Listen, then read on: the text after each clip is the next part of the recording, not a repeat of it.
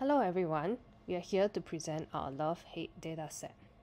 This dataset is a multimodal, multi-platform dataset depicting the emotions in the 2023 Israel-Hamas war.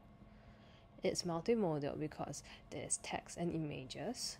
It's multi-platform because we have data from Facebook and Instagram and we collected data on emotions that of posts that represent love and of hate.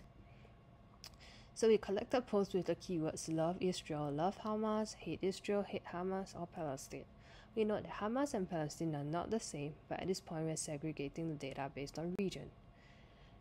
So the love posts call for support for either side, which is either Israel or Hamas and Palestine, or they call for peace for the general greater region. The hate post presents themes of hostility and they call out hate crimes and directed hate to. We also extract the salient emojis within the post and map them in terms of a word cloud. Love messages have lots of peace and prayer emojis, whereas hate have messages have lots of warning emojis. We also perform a psycholinguistic analysis using the LIWC package to sieve out the parts of speech and the psycholinguistic indicators in the love and hate messages. Love messages are universally directed rather than audience specific, and hate messages are more deliberately formulated.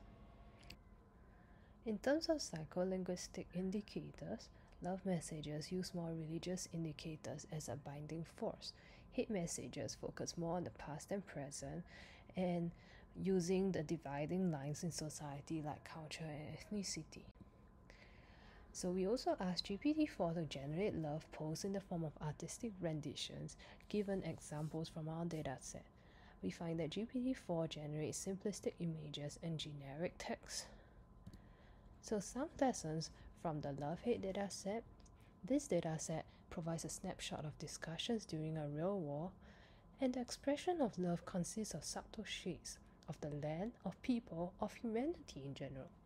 However, hate statements are deliberately formulated and they reflect directed animosity towards a group of people, so this provides the potential to spread fast and wild.